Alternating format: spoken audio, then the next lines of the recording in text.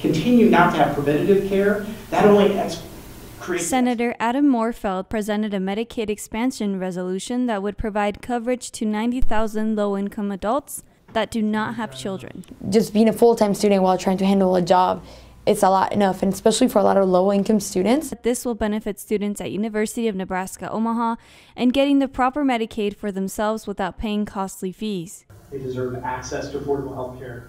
They deserve the opportunity to not be living from paycheck to paycheck in fear that they might have an unexpected medical event.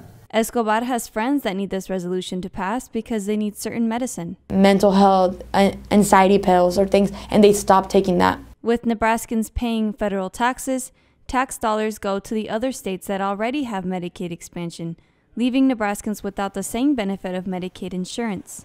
32 other states already have approved some Medicaid expansion laws. If you're a voter, it will give you the right to decide whether you want this program or not. If senators receive three phone calls, then that means that they need to act.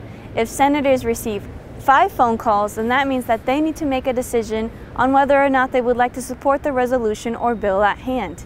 If the Medicaid expansion resolution does pass the floor this year, this will be on the November 2018 ballot. It will definitely make an impact for a lot of people. And I just think that it's so important to note that right now we're already paying for the consequences of not expanding Medicaid. For the Omaha News, I'm Stephanie Zambrano.